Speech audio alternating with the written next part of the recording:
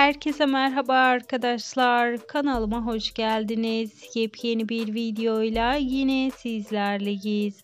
Sizler için Kerem Bursin ve Ya Çok Seversin setinden yepyeni görüntüler paylaşmaya devam ediyoruz. Maalesef dizimizin artık son bölümü yayınlanacak. Dizimizin finalinden yepyeni kamera arkası paylaşımlar geldi.